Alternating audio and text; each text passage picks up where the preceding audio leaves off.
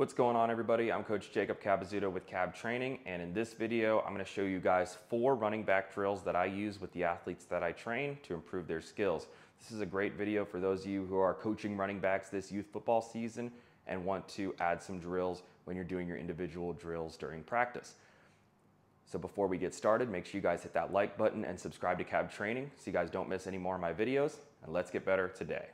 We're going to start off simple with drill number one Drill number one is a one cut drill. All you need is three cones and you're gonna create a 45 degree angle with those three cones.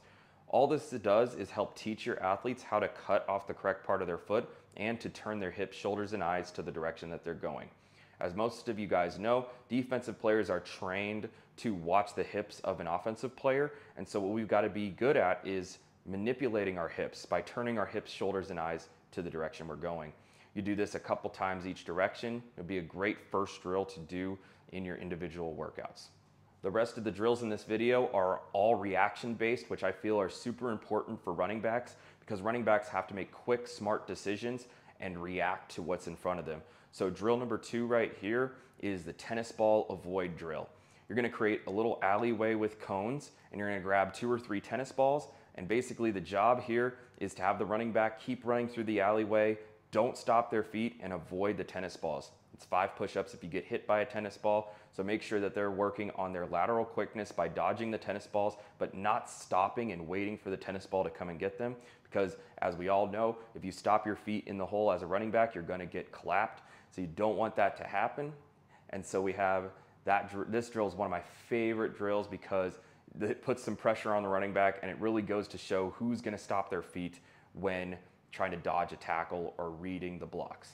Drill number three is cut where I drop the cone. I don't have a very good name for it, but that's what I'm gonna call it. It's pretty self-explanatory. Basically, you have a player starting at a cone, and then you have a handful of cones in your hand. It's gonna be a little bit more active for you coaches out there.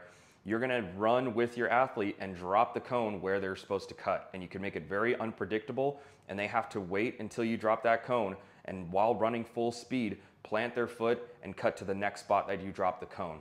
It's a little bit more active on your end, but it's a really good way to get your athlete thinking on the fly and make sure they move at full speed while changing direction. I had to save my favorite drill for last. Drill number four is the gap read drill. This is really, really, really fun, especially if you are just one-on-one -on -one with a running back or if you have a group of running backs and you're trying to trip them up. This is just a all around great drill. So what I do is I get about 10 cones and I make two rows of five, kind of simulating an offensive line. And you can number your gaps like you would normally run, number your gaps. I know a lot of youth teams label their gaps as two, four, six on the right side and one, three, five on the left side. And you can do that same exact thing, simulating the offensive 42. line gap scheme. And what you do Good, is you yell feet. out a two digit number as your athlete is running towards the line. Good. So let's just say you 13. yell 24, they run through the two gap and then they jump cut to the four gap while they're running through that second set of five cones.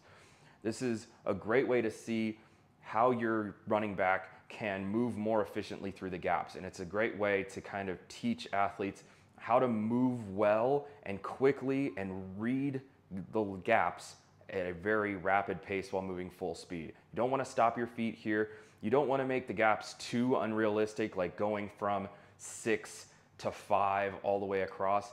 But if you make it quick gaps, you change over two, it really goes to show how you can improve your lateral quickness while maneuvering in and out of the gaps. Again, this is one of my favorite drills. It takes a lot of reps for your athletes to kind of get the hang of it, but it's gonna work the mental aspect of the game because you gotta recognize what numbers the coach is saying, and it also the physical aspect as well by putting your foot in the right place and accelerating through the gaps. If you guys liked this video and you liked the drills that I showed you today, make sure you guys hit that subscribe button and follow me on all social media. I post daily content on Instagram and TikTok as well as shorts here on YouTube. And then if you like this video, hit that like button because I really appreciate you guys sticking around to the very end. And let's get better today.